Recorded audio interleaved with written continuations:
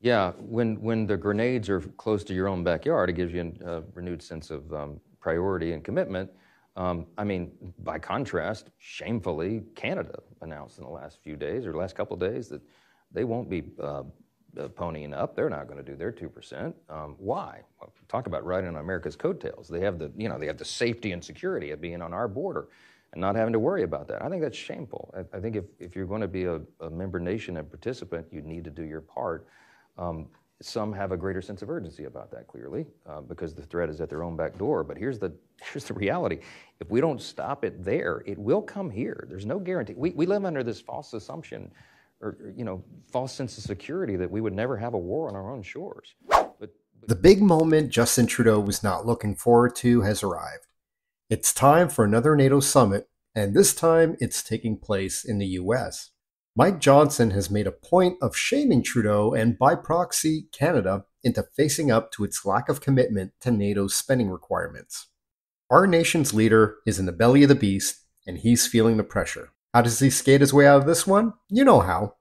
By channeling the ninth grade drama teacher version of Justin Trudeau and pumping out a word salad that's rich in fire and brimstone. NATO is the strongest military alliance in the world. And to keep it that way, we must continue to step up individually and collectively to strengthen both our alliance and the collective peace it represents and protects. Canada stands with our NATO allies.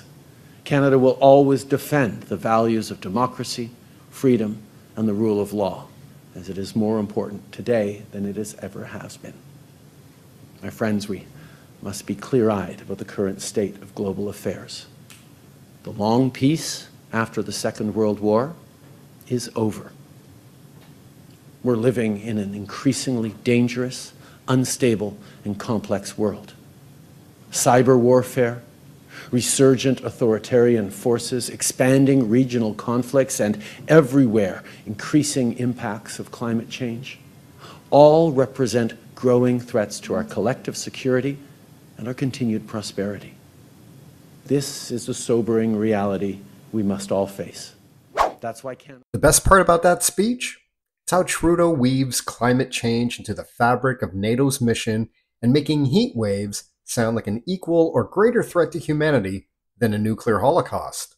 We all know Trudeau for who he is by now, but for him to have that self righteous audacity to put the issue he hopes to make his legacy at the forefront of security discussions is pretty next level. For contrast, part of Trudeau's speech was meant to announce the opening of a research hub in Montreal that is meant to measure how climate change affects the security of NATO alliance members. What's nice about this is that Canadians no longer have to feel alone about Trudeau's gaslighting. A quarter of our population can't afford housing, food, or gas, and yet Trudeau would have us believe climate change is a greater threat than not being able to meet life's basic necessities. And now he's doing it to the entire world by way of the NATO summit.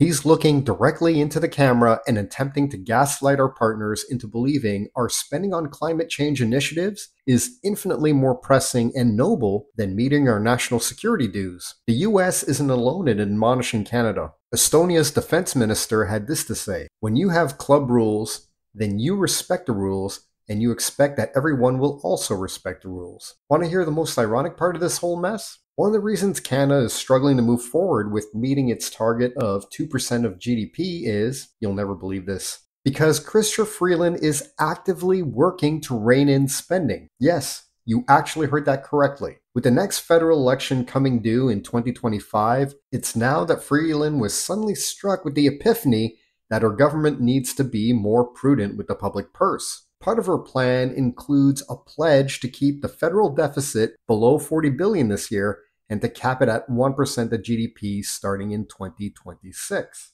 So, how do you feel about Canada's continued failure to meet its NATO requirements? Is it something that bothers you deeply, or are you somewhat indifferent to it? Leave your opinion in the comments.